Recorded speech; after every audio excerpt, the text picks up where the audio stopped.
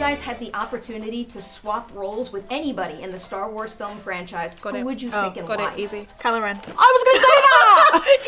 Yes. You wanna go Kylo? dark? Oh Yes. yeah. Coolest. He's got the coolest. Like, and we saw it. We saw it yesterday. Yeah. And like, there are some gestures he does when he does the things that he does Yeah. that are so cool. That, or like, like I genuinely watched it yesterday and I was like, I just want to play a bad guy. Mm-hmm. Like, I want to play a cool bad guy.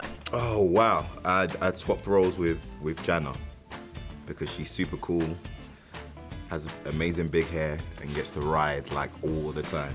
You know, so I, I swap roles with Jannah. That Kylo Ren roll's pretty, pretty. It's pretty good.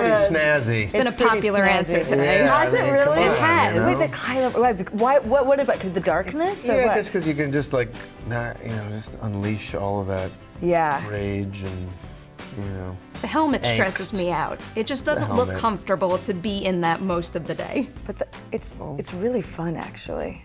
There's like it's like helmets are awesome. Is it at all comfortable for you? No. Okay. Oh, Babu Frick.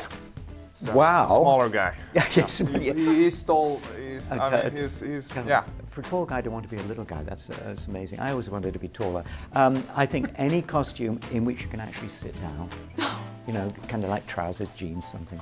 I'd say Adam.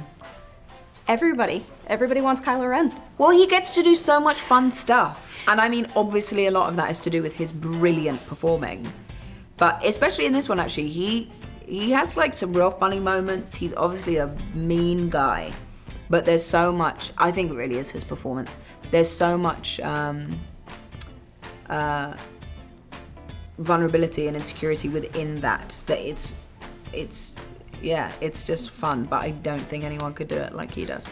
Yeah, that's a good question. It's hard to answer on the fly. Everyone so far, or almost everyone, has said you. Me? Yes. Oh, it has to be someone within No, this, the any film you want. uh, probably Jabba the Hutt. He doesn't have to go anywhere. People give him um, uh, grapes a lot. He has like a little guy that runs errands for him. Uh, he doesn't have to worry about weight or time or really anything. Um, uh, he, and he gets to watch a show where you know. Uh, this is just going to a dark place where there's death and murder, and he just enjoys it. Uh, I'll skip over that. Uh, uh, I'll just say J- Jabba the Hutt for personal reasons. There was a very practical approach to that answer. yeah, then it just went south. Yeah.